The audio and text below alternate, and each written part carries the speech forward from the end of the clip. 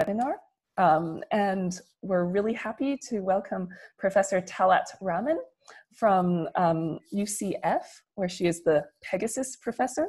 And so she has a broad research program in computational modeling of materials uh, on many, many scales, including catalysis.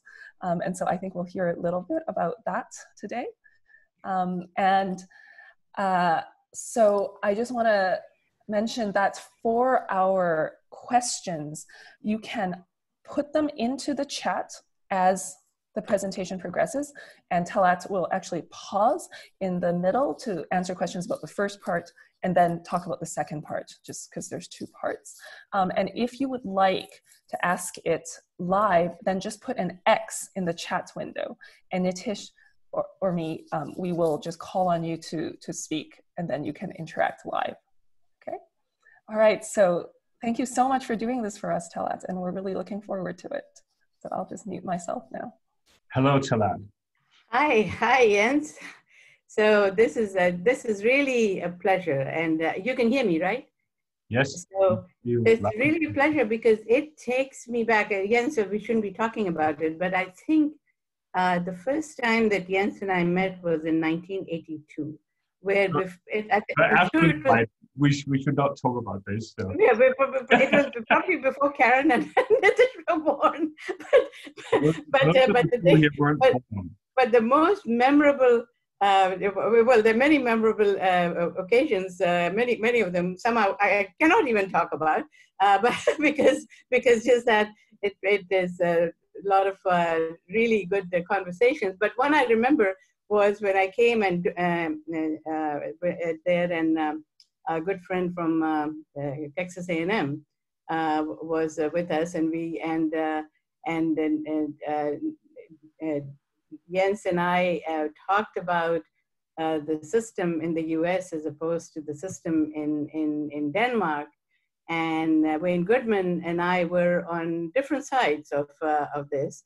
And I just wrote an email to Jens not too long ago that what we are going through right now is just actually it's, it's not pleasant. So maybe i won't talk about that. Then i'll go to talk about uh, things that are keeping my sanity which is looking at some materials uh, that uh, that and, and, again if you fall i mean you know i i can look at i mean against has of course gone way ahead in many areas but we all started from the same materials and we seem to be ending with, with similar materials. I think one of the first papers that we were looking at was oxygen on copper, the reconstruction of uh, copper surfaces with oxygen. So you know how way back that goes. But okay, so this, this is really such a, such a pleasure for me. So what I'll do today is I'll talk about actually two materials. Uh, one I included here and I will talk about here, this is molybdenum disulfide, again, pioneering work in this area was done uh, in the in Jens's group and also in in Denmark because uh, of the big, uh, you know, uh, this is uh, where uh, Topsoe has this monopoly basically on molybdenum-based catalysts, and and we're still trying to understand how it really works. the other is this hexagonal boron nitride, which we find to be a fascinating material and something that I won't talk about today, and I'll just give you a teaser for that, is that this hexagonal boron nitride with nitrogen vacancies is actually what they're talking about as for qubits for quantum uh, uh, emission. And, and, and so one thing that comes to mind is that won't it be interesting to connect the properties that give rise to interesting chemical properties on the one hand and these very amazing quantum properties. But that is not going to be my, uh, my topic. But I did want to tell you about uh, you know, uh, UCF because I, am not sure everybody here knows about it. Uh, it is not University of California in Florida. It's actually University of Central Florida. And the, the amazing thing is the, is the number of students that we have. In fact, last year we had less than 70,000 and we were expecting that number to drop because of COVID and everything else. But the number has actually increased and we now have 71,600 students. Uh, not all of them, uh, hopefully, are on campus. Only a third of them are allowed. None of them should be allowed, but that's not my decision. Uh, we have uh, 52 faculty in the department, and we have a very vibrant program. So if you're interested in that, please go to our website. Uh, before I say anything, I should thank the people who have uh, done the job here. And, and as you will see, most of the work from my group was done actually most Dewey is the person who's contributed tremendously to the project. And uh, Tao Jiang uh, has also, as has Takat, and Zahra has also done some calculations. On the experimentally, experimental side, I'll show you some results, actually something that I got yesterday from Richard Blair's group. Katerina and David are working in, in, in, in his group and Peter Darwin and Ludwig Bartels uh, and, uh, and Richard and I have been working for quite a while together, particularly with Ludwig, I've, I've been working since 2003. So I'll give you some results of that. The other people I, I show you, they are doing various other things in my group. And so we have quite an interesting time, continue to have an interesting time over Zoom. Uh, so basically my talk will be after a brief introduction, which I don't think anybody here would need. Uh, I would uh, talk about uh, why 2D materials as, as catalyst, and then focus firstly on molybdenum disulfide, and then on hexagonal boron nitride. So, and, and please, if you uh, feel uh, that anything needs clarification, do ask. So I don't need to tell you anything about this. So I'm going over to the next slide because we know that uh, carbon dioxide and carbon monoxide have to be taken care of and be converted into, into usable materials, more um, value-added materials. Uh, 2D materials, of course, the main thing is that they have this large surface to bulk ratio. But beyond that, there are endless ways to functionalize them. Uh, and the flexibility and the fact that you can add strain, the fact that you can have grain boundaries, the fact that you can encapsulate molecules within them, on them, under them, over them, all of that makes uh, really good, uh, good uh, motivation uh, to keep trying uh, to make them um, catalytically active. There's also, with all the interest in graphene, for all the reasons that you know, and now molybdenum disulfide and all the others, uh, there is this potential for mass production of 2D materials. So that's why we want to persist on uh, on making these catalytically active. Of course, as you all know, that maybe they are the reason those 2D materials have been around and, and, and, and one of the things that they're very stable and inert. One is the, they're lubricants, they are good uh, supporters uh, for reactions and so on. And, uh, and, and so, you know, they of course uh, have strong intraplanar bonds and then weak van der Waals. So these are all van der Waals materials. But because of that, they, the basal plane, typically, whether it is molybdenum disulfide or hexagonal boron nitride, uh, hexagonal boron nitride, which basically is an insulator, it needs to be uh, activated. And so does molybdenum disulfide.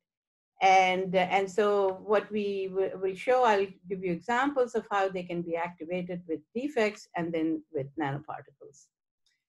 Uh, this is again something just I'm going to uh, uh, go uh, quickly because this is essentially what Jens has been uh, promoting for a long time that basically theory and simulation and experiment working together. We learn from each other, we go back and forth, and then we try to predict, synthesize, and observe. And as you all know, this became the big mantra in the Obama area era uh, which we are still nostalgic about uh, with the Materials Genome Initiative. So, so anyway, so that's uh, kind of what goes behind it. I will not spend any time giving you details about the about the theory because basically uh, density functional theory is our workhorse. We apply hybrid functionals when we need them. We apply DFT plus U when we need them. We include van der Waals interactions almost always now. We have to for these materials. Uh, we do the uh, climbed image nudged elastic band method from Henkelman and Johnson for uh, calculating of these uh, energy barriers. we do kinetic Monte Carlo simulations for reaction rates, reaction rates and turnover frequencies. And then, you know, there are lots of times when we have to look at vibration frequencies for um, experimental verification and also for calculating prefactors. And then we also do look at phonon dispersion and uh, if you're looking at relative stability of different types of uh, 2D materials, uh, because not of, all of them are going to be stable and so on. So these are things that, again, if you, anybody's interested, please send me an email. My email is very simple, just Talat, my first name, at ucf.edu. Okay, so what are we going to do? Well, this is an old slide from a paper that we wrote in 2014, and that was basically when Ludwig Bartels was doing experiments trying to create uh, vacancies and of course, what we found that yes, indeed, vacancies can not only be created, but in this uh, uh, article by the Finland, Finnish group, uh, they show that vacancies are inherently present. And in fact, that could be one reason why inherently uh, molybdenum disulfide is an endo material rather than a, a, a pure semiconductor. So um, what we what, what makes then when you have vacancies what makes it reactive is, of course, what you get is that you get these frontier orbitals that come that are then pushed very close to the to the Fermi energy, both the uh, unoccupied unoccupied here and the occupied there. And this playing with the Fermi uh, frontier orbitals is one of the uh, uh, features that we are looking at when we want to say whether something is uh, reactive or an active site or not. And these are then the mid-gap states, which of course emerge when you create vacancies, okay? So this is just a, the, just the, the, simple idea that, you know, when you have, uh, a, you know, transition metal, of course, you have, a, a, you know, all the way up to the Fermi level is occupied. In molybdenum disulfide, of course, you have a gap. Uh, if you have a vacancy row, then what you start seeing are these uh, occupied and unoccupied orbitals very close to the Fermi level. And of course, if you put uh, either um, vacancy, I mean, uh, nanoparticles or any gold, copper, silver nanoparticles, or even grow it on a copper on copper or so, then of course there's an even an enhancement of the of the effect. And these are some things that I'll just briefly mention. Now, again, I'm going to go over these uh, a little bit because uh, I would like, uh, I'll leave these slides and papers are there and you can also get uh, help. Uh, I mean, any questions you have, you can ask me anytime. But basically what we are showing here is the, just the potential energy uh, uh, diagram, the, the pathway. And what you find is that if you start with syngas, so that has been our thing. Syn, what, what can we do? What can we convert syngas to? The idea was to convert it either to methanol or ethanol and higher alcohols and so on. So, so essentially there are barriers. And then of course we have also looked at things like coverage dependence and, and, and co-adsorption and all of that.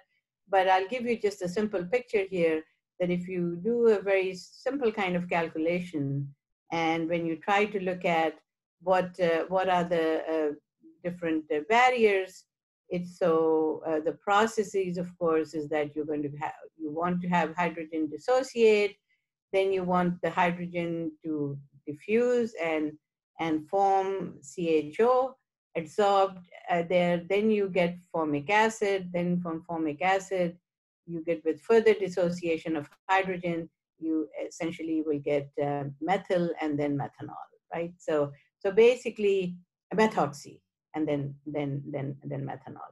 So so this was uh, when we looked at that. This actually uh, we thought that the barriers were high. This is an electron volt, but when we talked to our experimentalists, they said, well, most reactions under industrial conditions are at temperatures where this is, won't be unreasonable. So we said, okay, fine, that's okay. Uh, but we thought that maybe maybe uh, we had we had done this calculation for just a row vacancy, and which it doesn't, which confines the diffusion of uh, the entities. And so what about if we had a cluster of vacancies? And of course, if you have a cluster of vacancies, then of course, these barriers are actually very um, low. And, uh, and if you look at it, you say, well, maybe maybe this is actually going to be pretty good. But on the other hand, it could be that if you have too many vacancies, then some of these intermediates may just be very comfortable sitting on the surface and may not diffuse. Okay, so those are concerns. But then, of course, all of these things, as you know, kinetics plays an important role, temperature plays an important role, and so one needs to know what goes on in experiments. So that's where we started uh, talking to Richard Blair, who's basically he, uh, a chemical engineer, although his degree is in chemistry, and he is one of these people who is very ingenious at that. And and his whole idea is tell me what to what you're expecting, and I think I can show that it will happen if if your foundations are correct.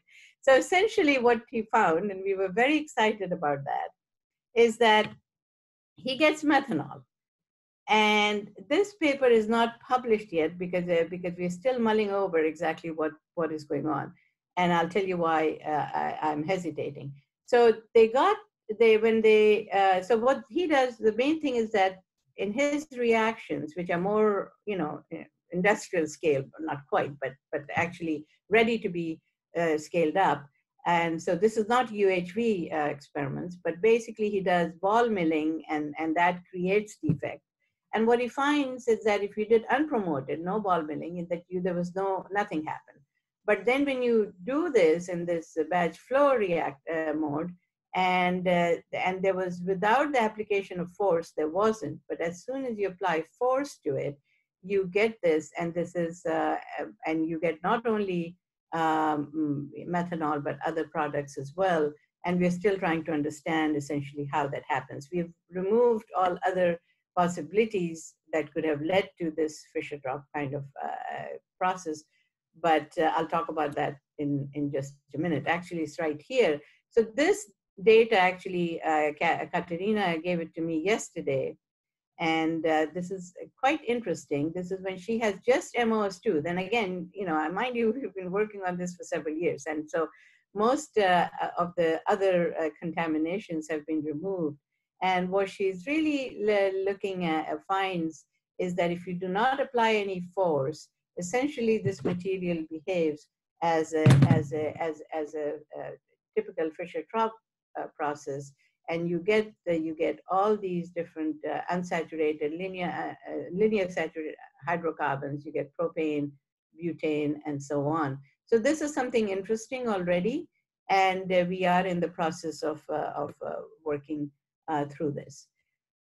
So now let me take, give you uh, two more examples uh, very quickly, and then I want to take a, to, to Halton, I have you ask questions. And this is what about nanoparticles and then about uh, copper. So nanoparticles, this was something that uh, Ludwig Bartels was very involved in as he had, he creates these single layer MOS2, which are really one of the finest that you can get. And then he deposits uh, um, these gold uh, on that. Uh, of course, theoretically, it's easy to understand that when you have a nanoparticle, uh, you have these all these regions here uh, where there's a redistribution of charge. And of course, depending on the size and the shape of the nanoparticle, you're going to have, uh, you know, these uh, kinks here and, and regions here where more reaction will take place. But for those who have been working with nanoparticles on, on, on oxides, uh, I wanted to mention a very interesting difference, which I won't go through here, is that when we were looking at gold on titania, the reactions uh, were all taking place, even methanol decomposition, they were all taking place right here at the interface or very close to the interface. When you have gold on, on nanoparticle, reactions are not taking place at the interface, they're actually taking place on the nanoparticle. So this is very interesting uh, a, a, comparison, and also the two uh, gold on titania and gold on MOS2 work as really opposite in opposite direction. Gold on M- titania promotes methanol decomposition. Gold on MOS2 promotes methanol formation theoretically and hopefully experimentally. Okay, uh, this is again, the idea is the same that once you have gold, you again got these, as we did with vacancies, you got these frontier orbitals very close to the Fermi energy, and they are the ones that are going to take part in the reaction. And so obviously, this is the chain that will go on, which I've shown you, starting with uh, uh, CO and hydrogen and dissociation of hydrogen, then, then formation of CHO and so on and so forth, until you finally get methoxy. Once you get methoxy, then you get methanol. Uh, the, the, these are some uh, results which uh, uh, have some validation, which I will show. These are results taken by Tao Jiang and also previously by Takat Rawal, two great students in my group. And essentially what happens is that there's a small barrier, about 0.6 EV for hydrogen dissociation. But once that happens, you pretty much get, I mean, again, we are looking at this as the baseline here with some, some barriers, some barriers that are, that need to be overcome.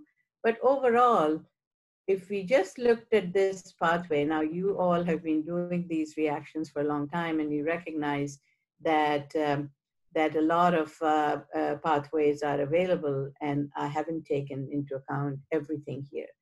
But essentially, this is showing that uh, we could get to methanol just like we did with, uh, with, with, with the vacancy there.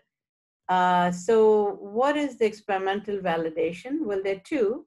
One is, uh, we think in this case a little bit, uh, well, that wasn't our goal because CO oxidation has been looked at, but this is where Bartels' group was doing, this is essentially doing titration on this and seeing how when you have the bare MOS2, then you put gold on it, and as you do the CO and then oxygen, and then and then you basically are looking at the XPS uh, peaks and see how that shifts. And from that analysis, one could conclude that formation of CO2 is happening. Our results for these barriers do show that that is a facile process. So, uh, so this is this is all done under very controlled conditions, and that was just a proof of concept. The one that was very interesting was that what uh, uh, Blair was able to do is not the methanol thing was done was not quite one not did not quite happen. In other words, when he took gold with uh, uh and uh, this this sample from Ludwig, uh, which was gold nanoparticles on MOS2, and he started with syngas, that was not quite productive in terms of giving methanol, which is what we were predicting. But what did they did see is if they had methanol and carbon monoxide, then they were going to then they were able to see acetaldehyde. So that already this is C2 bond formation, right? You're going from single bond to double bond. And so this is something that we were very excited about. And this is a paper that has been submitted. We were probably trying uh, too high a journal, but hopefully it will be in print very soon. Um, so, so, so essentially, uh, this is, and how does that happen? Well, what happens is that we find that if you just have methanol on the surface, there is a barrier, about 1.4 eV, for the scission of the bond between oxygen and hydrogen. But it can be done.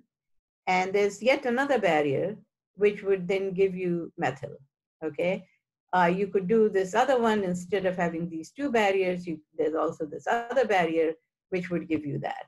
And both would give you methyl, which would be the starting point for formation of, uh, of uh, acetaldehyde. Well, how does it happen?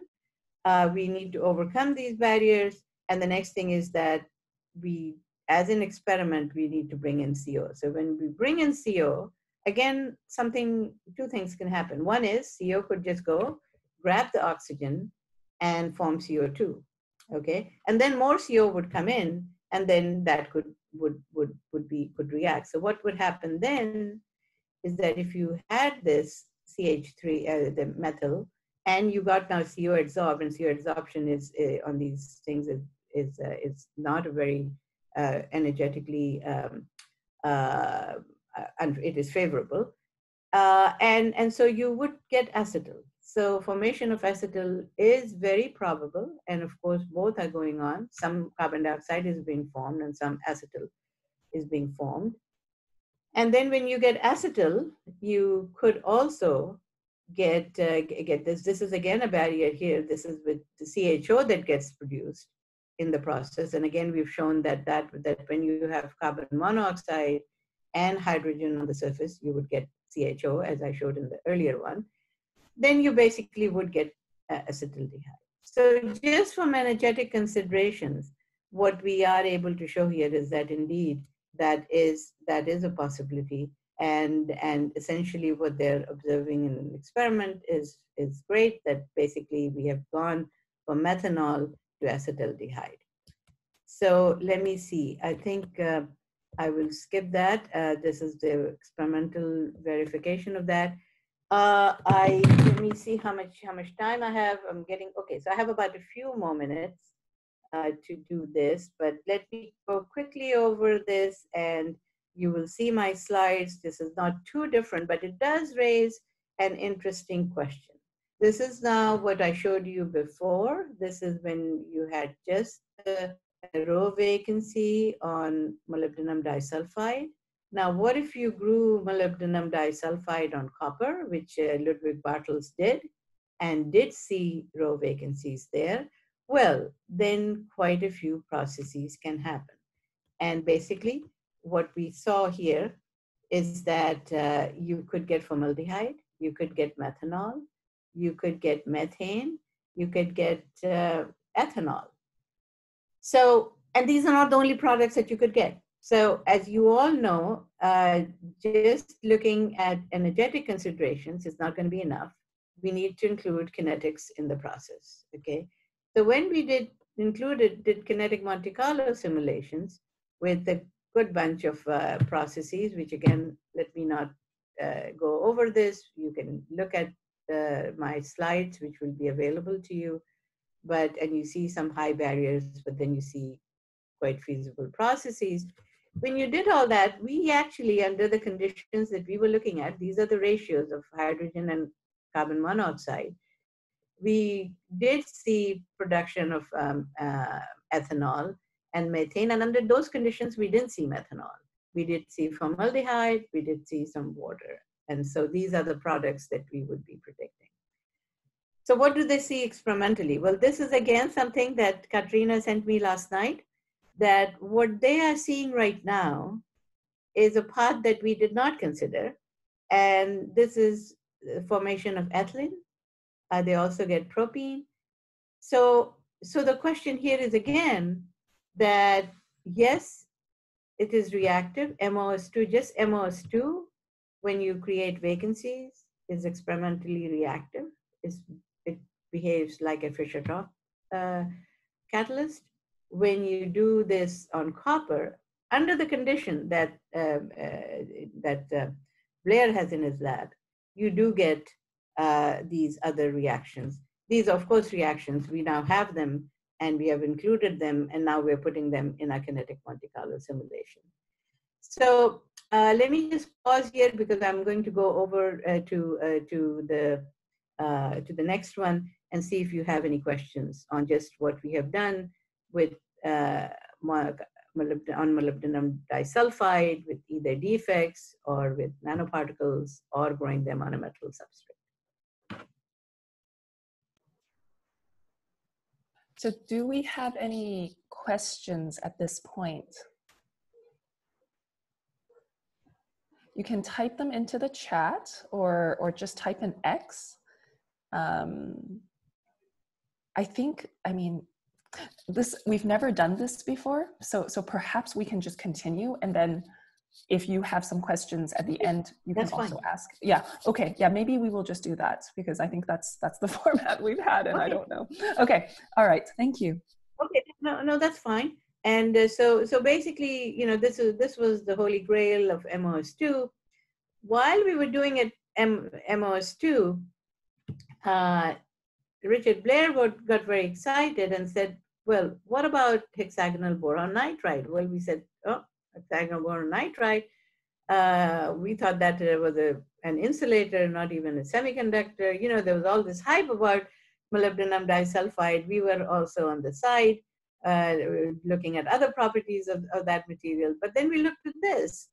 And uh, the one that I won't talk to you about is that when we have vacancies in there, then what Blair's group was able to show that you can actually convert a whole bunch of alkenes to alkanes. Okay? And this is already published. I won't be talking about that. What I will talk about more is how do we get, uh, how do we hydrogenate uh, carbon dioxide? And, and it's very interesting that we get at low temperatures, uh, what the result will be that at temper low temperatures, 20 degrees centigrade, 120 degrees centigrade, what we get is methanol.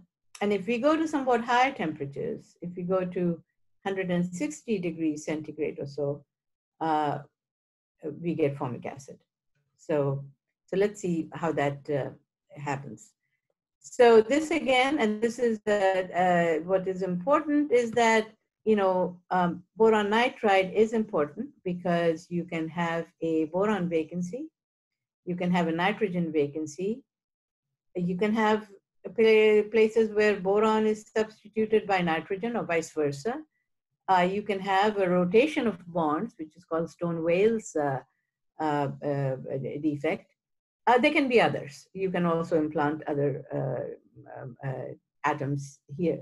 But one thing that I wanted, and, and I think some of you are already aware of that, is that this thing here is uh, uh, in when you talk about NV centers is what has been the quest in diamond. And in diamond when they create an NV center they they take a carbon out and put it uh, put a nitrogen in and hope that near nitrogen they have vacancies. And that is the NV center from which they get these uh, emission single photon emission and so that has been the source but as you know that in diamond it is it is a bulk material it is very difficult to control the environment but if you go to something like hexagonal boron nitride, if this is successful, you know exactly what the environment is. So NV centers can be created without any trouble. So that's why the, uh, there's uh, interest in boron, hexagonal boron nitride from the, from the quantum science or quantum information science point of view. But that's not our concern here. So let me not uh, go uh, into that. Let me just show you that what we will be doing is talking mainly about that, but since I am a physicist, I will still bore you with one more detail, which is that when you have these vacancies, particularly these vacancies, these are very important. What you see here is, we, and these are, these are spin uh, polarized calculations, and what you see, see here is that it costs a very small of amount of energy to flip the spin of the electron when you have this nitrogen vacancy. So I'm just going to leave it at that. That is really the rationale for what is going on. Uh, the others are also important, but they but they act differently. This is uh, the boron vacancy, where again you got uh, states frontier orbitals right at the Fermi level, uh, and then and and this one, the Stone-Wales, I would not say is is very reactive, but then this boron substitution could also be. But the main ones are nitrogen vacancy, and of course the boron vacancy. Now what you see here is these are, are calculated values for the adsorption energy of carbon dioxide and hydrogen, dissociated hydrogen. This is, yeah, I'll go through the process. Uh, on these, very nice, very nicely adsorbed. Uh, this is NMR data from our colleague Jim Harper. And, and basically, if you go through the details of that, it actually, these three peaks correspond to three different sites, types of sites that, uh, that uh, CO2, uh, that this carbon in CO2 could be adsorbed in. So this is actually pretty, pretty uh, impressive confirmation. The other thing is that uh, they, there are other, uh, you know, we looked at propene, ethene, and so on for the other calculation, and they also were able to absorb on, on this. Now, how does all this happen? I've shown you this already. The main thing to mention is that if you're looking at the charge density, this is really the electron cloud that near the vacancy, that it is not right there, but it, it is also at nearby places. So what do we here? Do here, what I'm going to do is essentially show you this. You're coming down with the CO2. Uh, this is the pi star anti-bonding orbitals that we're showing here it comes down and basically what you see in this movie, and you can keep your eye on both the things here. And as I flip this, what you see on the right hand side here is how the charge uh, density or the electronic uh, arrangement is, is, is modifying itself and how the CO2 is going to be bending. And you see that bending right there, which is very important for it to, to absorb. And there it goes, and then it goes, and finally it gets absorbed. And there is CO2 absorbed on the surface. So CO2 absor- is absorbed, it is absorbed there, but it has also left this excess charge over here, okay? So now what we do is that we bring in then uh, the this is quite a facile uh, adsorption. And now we bring in the hydrogen. So the hydrogen comes in, the CO2 is already there, and now, now the hydrogen is going to come in. And basically what you're going to see as, as the hydrogen comes closer to the surface, you look at the picture on the right, that all those charge hybrid, I mean, orbitals are hybridizing, rearrangements are happening. Here is the transition state, and here, boom, it is now on the surface, okay? So basically, uh, the, the, the excess charge that we had at boron, this is all created because of that vacancy there. This facilitated the, the dissociation of hydrogen. So, so there is a, an interesting uh, point here that if we were to first absorb hydrogen and then CO2, hydrogen would have seen a, a barrier. So one uh, takeaway is that uh, we should have a good number, a good bit of hydrogen present in the system. But once that happens, then the, then the rest of it proceeds. And pretty soon what you have, you've got CO2 absorbed on the surface, and then you've got the two, two hydrogens there. Okay, so so then uh, what what else will go on? Well, this is then you've got the CO2 and hydrogen, and maybe I will not bore you with all the details here, but essentially uh, the formation then of uh, of I should know these, but, but this is where you can see that my degree is not in chemistry. Uh, the product formation takes place with HC, uh, HCOO and adsorbed and, and a hydrogen atom adsorbed. And eventually then you get to formic acid. Okay, so you got to that. All right, what else can go on? Well, what you could get if you could have gotten to this state here, so this is this is basically the same thing, but it's just giving you all the DFT results for what we have. So this is again because of that excess charge. If I were to go through the uh, that uh, you know little cartoon again, it is really the excess charge that is again making the H2 dissociation facile. So so these things are happening on different sites, and at all these different sites close to the vacancy, you're getting these various things to happen.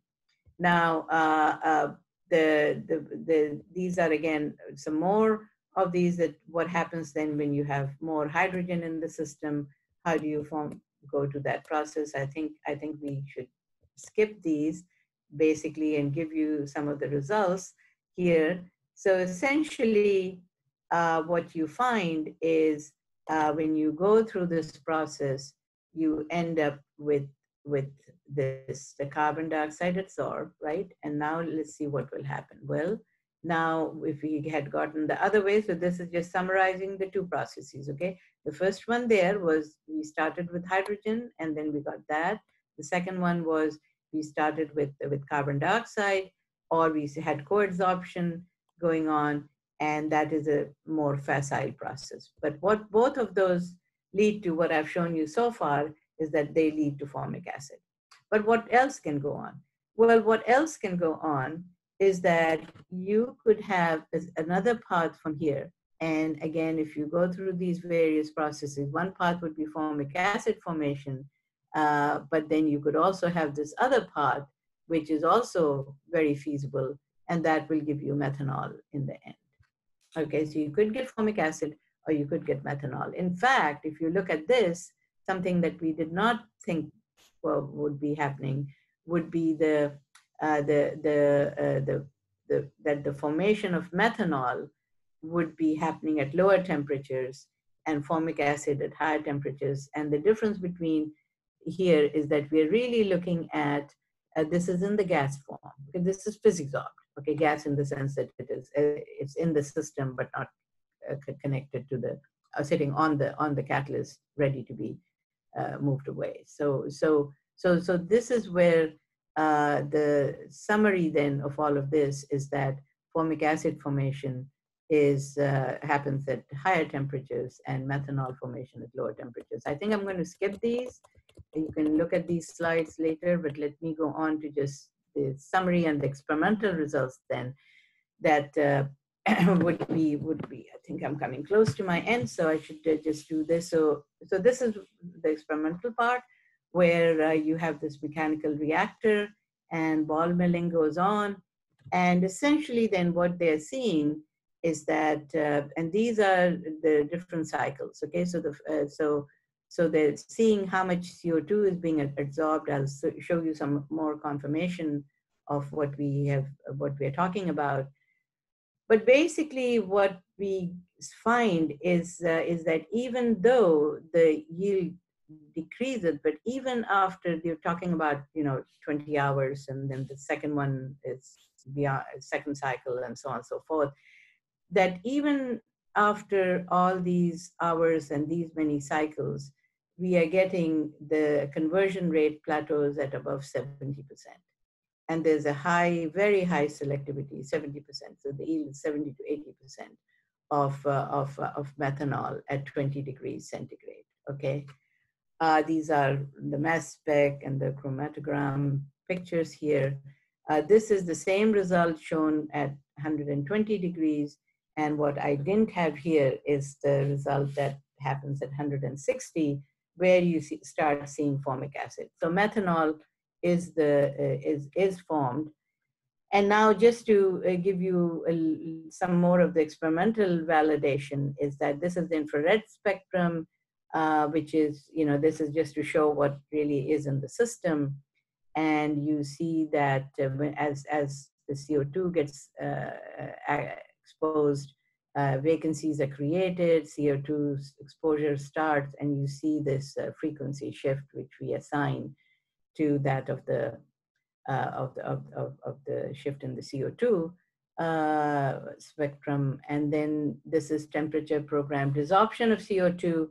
And, and again, what you find is that uh, water is coming out later. You see, uh, th this is CO2 over here. Uh, with the peaks correspond to CO2 coming from different uh, sites. And then you've got CO. And finally, what we have here is the um, is, is again evidence for, uh, for, the, for carbonyls being present in the system. So these are just various things coming from experimental uh, data. This, has, this paper has been submitted and anybody interested, I can send you to them. So that should bring me to my conclusions because I think I'm allowed 45 minutes and I'm getting close to that. Um, so basically what I tried to show you in this part was that hexagonal boron nitride is, um, is actually a very viable catalyst, provided you create defects. When you create defects, you create mid-gap states, which is well known, as we did in molybdenum disulfide. These, well, these, these uh, states right close to the Fermi level are very important. Uh, they're important for reasons even other than catalysis in when we're thinking about catalysis, what we're thinking about is, is actually the charge redistribution around the uh, vacancy. And that charge redistribution uh, really leads to formation of bond with CO2 as it approaches the surface. And CO2 then absorbs close to the vacancy, leaving enough charge near the vacancy for H2 to come and coadsorb dissociatively.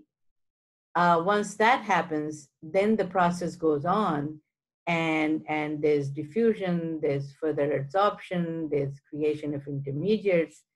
And to a little bit of our surprise, what we found that both experimentally and now, and also theoretically, that the formation of formic acid, even though that was the first thing that we looked at, to get it from chemisorb to physisorb state, it, uh, it, it requires more energy than it does for methanol.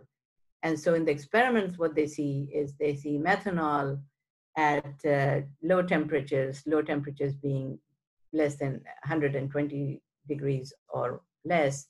And what I didn't show you the, uh, the slide for because I didn't have it on hand is that formic acid uh, was found after 160 degrees C. It is in the paper that has been submitted.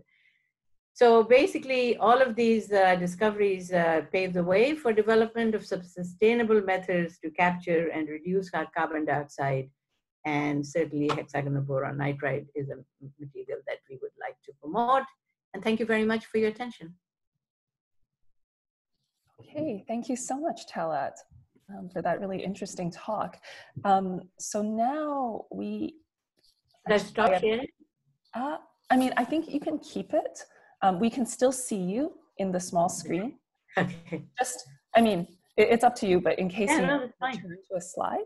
So feel free to ask a question in the chat.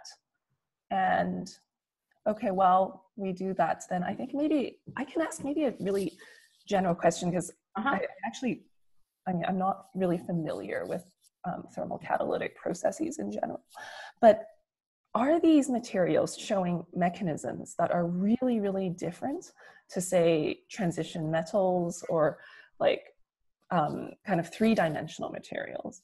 Can we understand this in terms of kind of like using a sort of descriptor-based approach that's been established for three dimensions, for instance? I, I, th- I, think so. I think I think I think that okay. So yes and no. So when we're looking at MOS2, uh, I think our conclusion at this point is that it is be- behaving like a Fischer-Tropsch catalyst, and and the only reason for going into it would be uh, would be that uh, we, uh, you know it, it is something that is more readily available and uh, and cheaper and so on. Okay, but then there's some uh, transition metal uh, catalysts that are also cheap. So so, but I think for hexagonal boron nitride, it's it's metal free.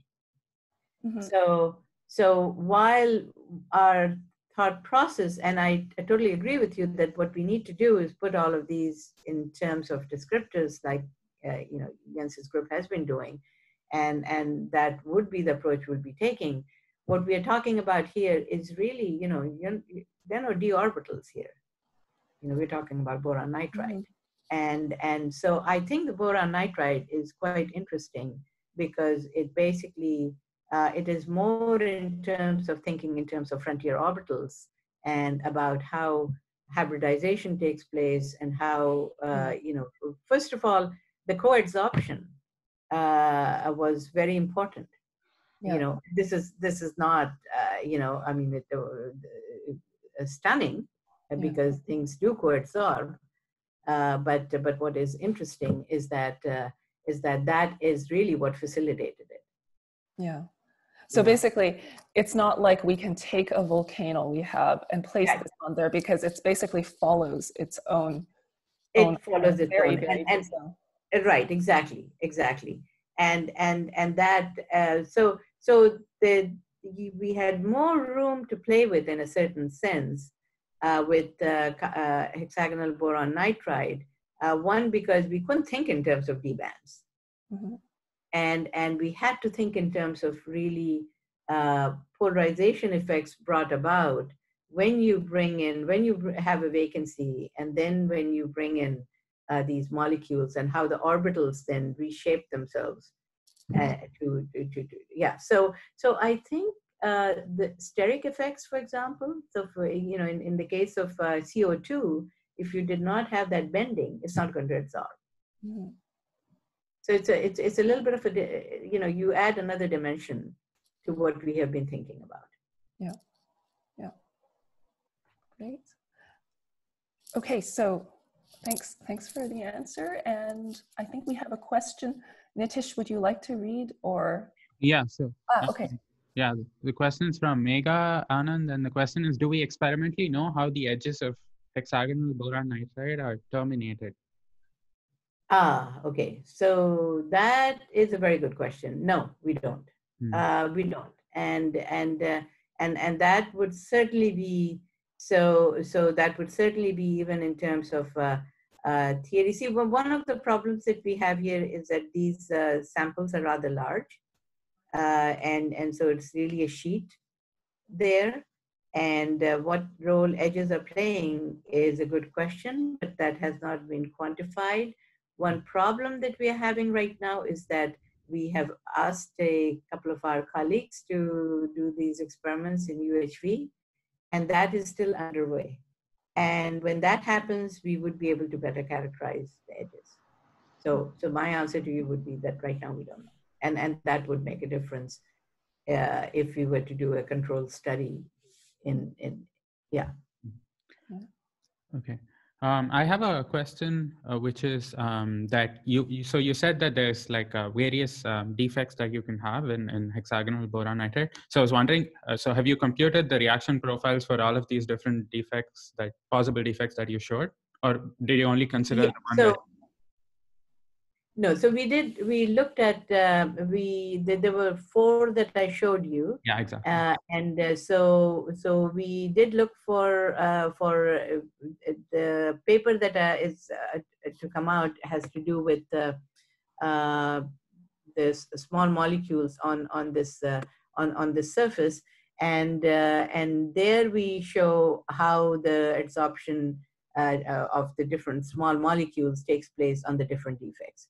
Now, the full calculation, full blown calculation on the other, we haven't done, done all of that. So if you are interested in adsorption energies and dissociation energies hmm. and, and so on, then those we have.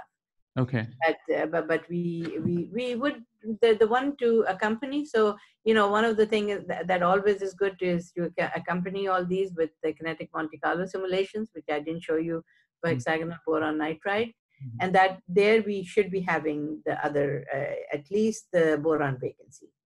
So okay. those would be the two that I think would uh, would probably uh, contribute the most. Maybe someone else wants to answer. Okay. Because I asked because then if you know uh, the kind of defect that is is most active, I was wondering also experimentally then would there be a way to engineer more of those defects so you can get Right. So our main problem right now, and again, Nitish, as I was telling you, I if uh, if we can get people excited, uh, we, we can also get them excited because of all this uh, role that these defects play in quantum uh, information, right? Mm-hmm. And and nowadays that's a big buzzword, quantum science.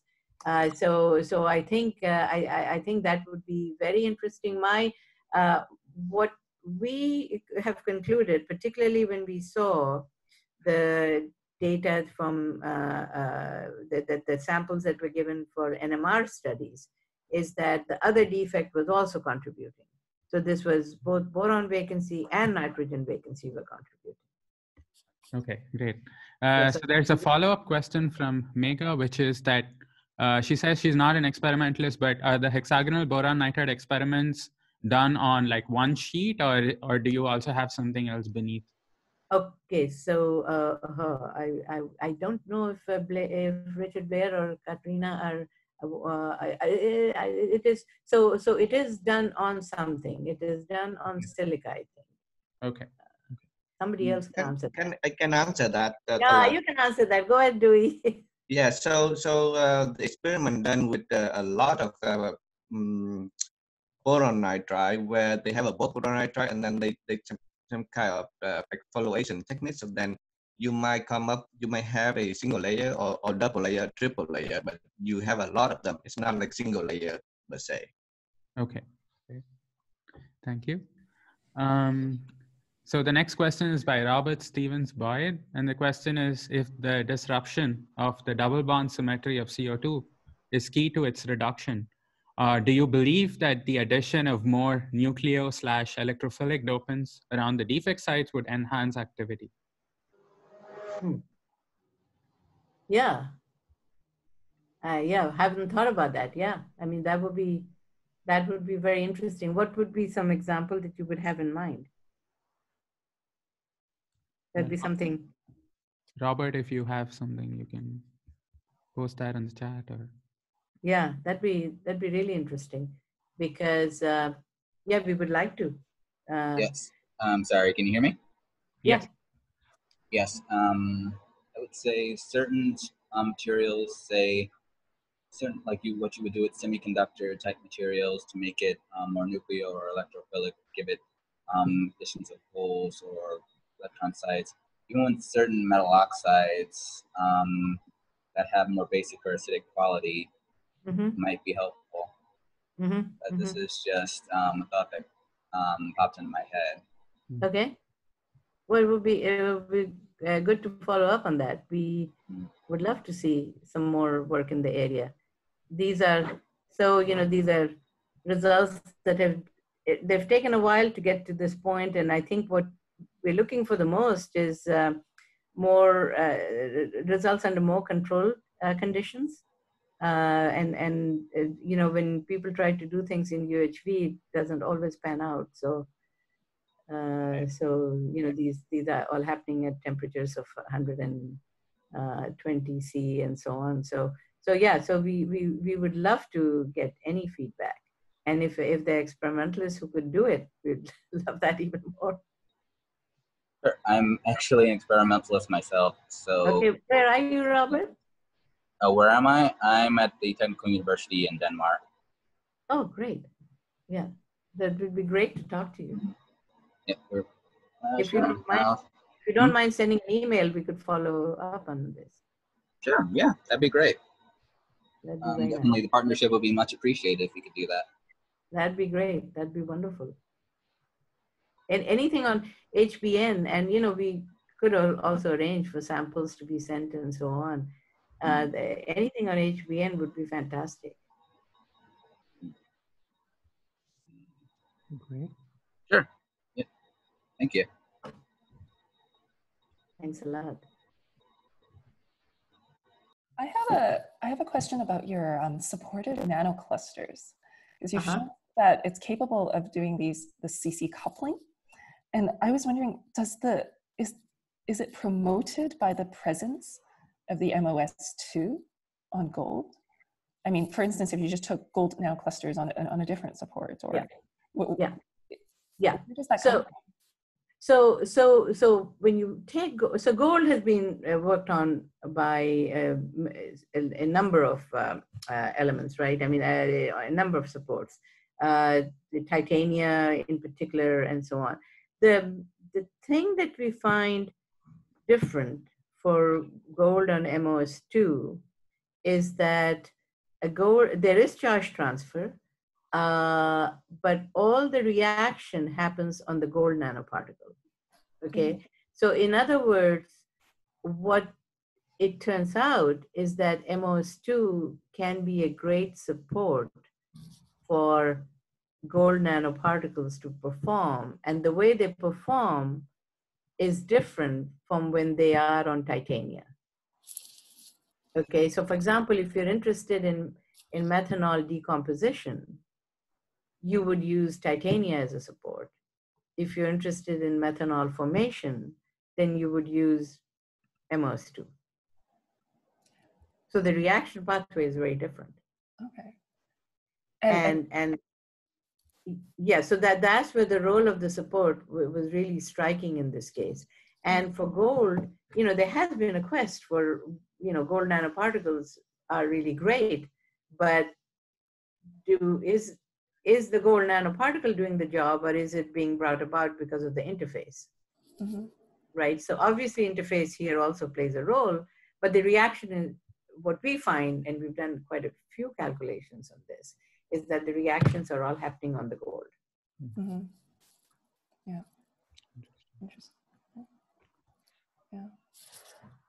So I was, uh, I'm, I'm guessing, uh, so you're saying also, at, so what about the interface? Like, so the boundary between the gold nanoparticle and the MOS2. So you're saying that it still happens on gold, but not at the, yeah so so the so the, what the boundary so basically that that i mean there is uh, there is charge transfer Mhm. Okay? And and then you can also ask you know of course if you have a vacancy uh, on mos2 uh, then then then there's even there's, then there's a strong covalent bonding okay? But even if you don't have a vacancy gold still gold nanoparticles still uh, um, you know bind with that surface and there's charge transfer that goes on. Uh, however, uh, it's not reactive, or the particles or the sites near it Mm. are not reactive. Well, one reason is that you've got sulfur. Mm. I mean, you know, sulfur and gold do do have a have a have a connection with each other, right? You, they want to form uh, a, a Mhm. bond.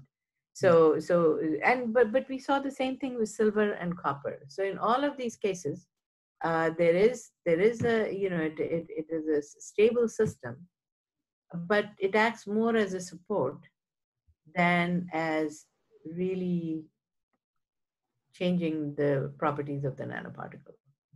Mhm. In other words, letting the nanoparticle be reactive, ha- promoting active sites on the nanoparticles. And the active sites on the nanoparticle are the ones that are at the at the tips, that are at the you know at the under coordinated sites that are at the top or the sides. And the one that the one paper I, I don't know when uh, the the one that uh, well, I don't know if I can go back to this. Let's see if I can. Uh, it takes a while to go get back to it. So uh, one of the ones that I showed, which had to do with um, hmm, that's funny. I'm not able to get back to that. But I, I don't know if you remember, I showed the one with the CO oxidation. Uh, so let me do the stop share. And uh, then I, if I get back to this, that may help me. Yeah, now, it- so the I had this um, uh, gold on uh, CO oxidation, which was experimentally uh, verified. And that, well, we did that to see if they could look at it. That was an easy thing to do. I think I'm coming to it in a second. And there, what we found is that it was really the edges. And here again, the edge edges of the so that was a 2D. That was almost like a 2D gold layer, right? So if I can share my screen again, guess I can't. This is. I thought I was quite used to. Now I don't know where I have gone.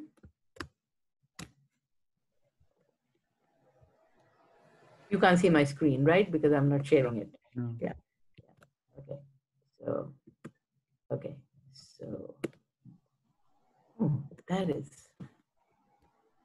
well, okay, so I think, uh, I think I'll probably have to somehow escape. Well, okay, at, at least I got to this point. Or sorry about that. This is, uh, we are still in the learning process. So okay, let me just do that. Yeah.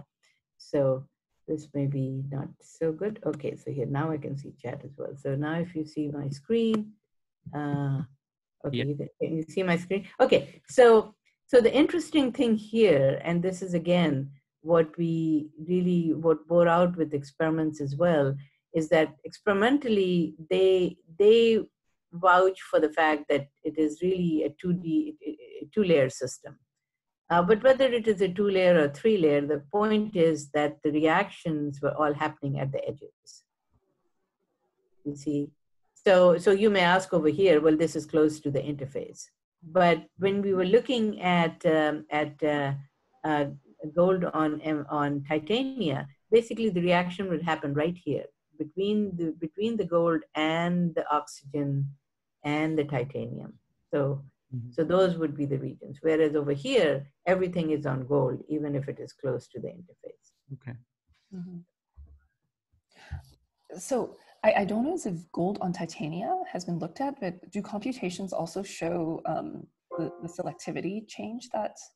Yeah, the gold on titania, uh, gold on titania was uh, has looked at experimentally Okay. quite a bit, and so uh, initially it was the CO oxidation that they were looking at, and then methanol decomposition, which was done by Donna Chen, and CO oxidation by a good number of people, John Yates, and a good number of people in the old days. So that that was the one of the classic papers. Wayne Goodman was doing looking at it as to so the you know the question with gold nanoparticles have, has always been that is it is it the nanoparticle re- alone or is it the support uh, Yeah. that the you know in Haruta's when you look at Haruta's old papers, the you know the ones that got this whole field started, uh, he always had gold nanoparticles on a support, whether it was silica, whether it was titania, or any of those. It was always an oxide support in his case. So the question has always been, uh, you know, uh, uh, what about gold nanoparticles by themselves? Well, they have to be put on something, otherwise they're going to sinter, mm-hmm. right? So, so part of what we are saying over here is that MOS2 is the support which actually doesn't allow them to sinter. We, we see when as we have STM images of these, and and they don't they don't sinter, and and and and the and the performance is on the nanoparticle. Of course, there is charge transfer, so it is not like it is just a support that is not doing anything. Mm-hmm. But from what I understand, experimentalists who've been putting gold on silica or other substrates have not been able to get this clear cut result. So that that is what I would put as okay. what is interesting here. And could we attribute a lot of the effect to charge transfer, or does the kind of chemical nature of these interface sites does that matter? Or like when we say, oh yeah, there's some charge transfer, then could we in principle understand everything in terms of the, the charge that's then placed on the gold nanoparticle? So, so what I would say is that is that I think in term well, eh, they, they are probably all related, mm. but unless and until you bring orbitals close to the Fermi level, mm-hmm. you're not going to see anything. Mm-hmm. So, so in all of these cases, whether the reaction is taking place on gold or whether it is taking place on MOS2 with the vacancy or whatever, we have had, um, because of the perturbation, we've had states driven very close to the Fermi level, mm-hmm. whether it is occupied or unoccupied. Mm-hmm. And usually it's both. Mm-hmm. So, so we would say that the availability of the un, unoccupied and the presence of the occupied very close to the Fermi level is, is, is, is, necessary. And part of the reason for that is that, you know, you always have eh, catalysis by itself means you're not in the ground state anymore. You know, some things, you know, even if it is thermal, uh, you know, some energy is being put into the system. Now the question is, how much energy do you need? Mm-hmm. So, so I would think in terms of manipulation of the orbitals, hybridizations of the orbitals, and again of activity very close to the Fermi level. So I, I think that that got more solidified this way of thinking when we are talking in terms of boron nitride. Mm-hmm. Because boron nitride takes you back to almost a system where you have no metal and and yet you can have these reactions. Yeah. Interesting. So about boron nitride, is it ever, I mean, have you looked at it as also a support material? Okay. So that is how, that is how it is always done, right? I mean, experimentally. Experimentally, uh, boron nitride is the most benign, most benign substrate. Mm-hmm. So it has a it has close to 6 eV, 5.85 eV or something band gap. Mm-hmm. So it is something that that is always used as a support. Uh, we are right now in a very different context looking at uh, single molecule magnets on boron nitride. Mm-hmm. Okay, and there, when you take just boron nitride without any vacancy in it, it it it basically is an excellent support.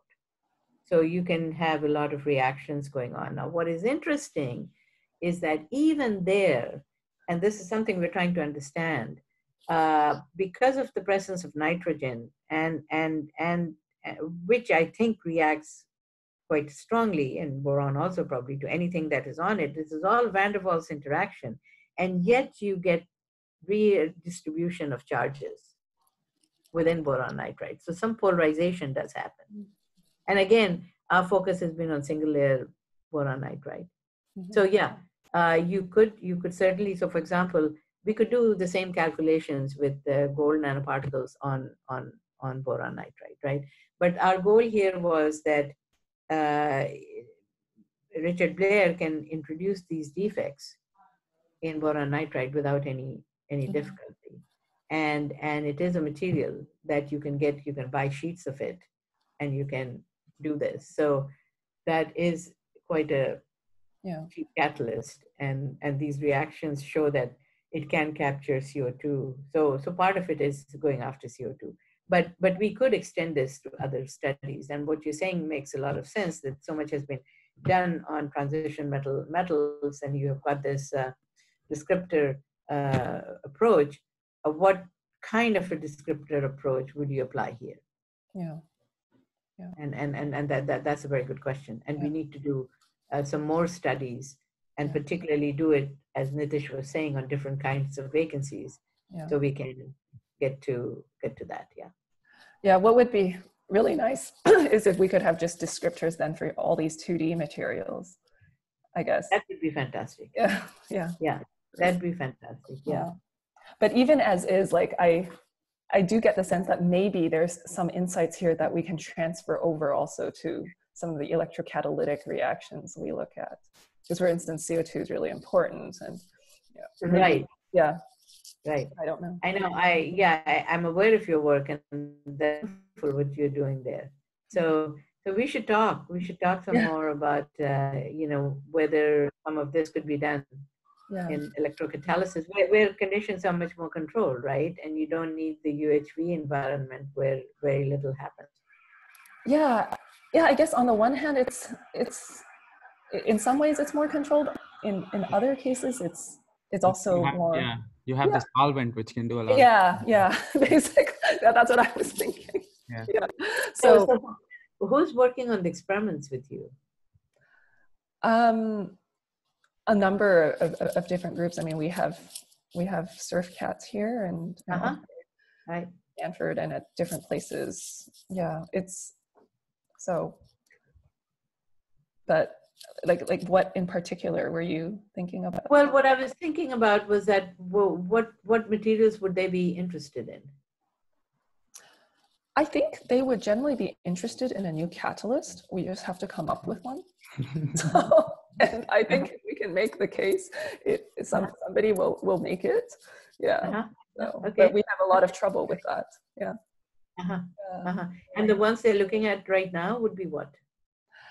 Transition metals? yeah. Yeah. Yeah. But maybe going beyond that is, is needed. Yeah. Yeah. So that that's with the, I mean that's been the whole goal here that can we go beyond transition metals and see what kinds of descriptors. But you're very right. We should be focusing on what are the descriptors here, Mm, Yeah. which gives you a kind of a, you know, a Yeah. quick quick Yeah. quick guideline to experimentalists about Yeah. how to proceed. I mean, what's really interesting is that it shows such a different mechanism when you Yeah. go from 3D Yeah. to 2D. So, Yeah, yeah, that's right. That's right. Yeah. okay. So I think that we don't have other questions, and I think our time, I mean, at least our scheduled time is up. Okay. So, um, so thanks so much for that talk. And I, I think I'll look into it a little bit further just to see as if there's something we can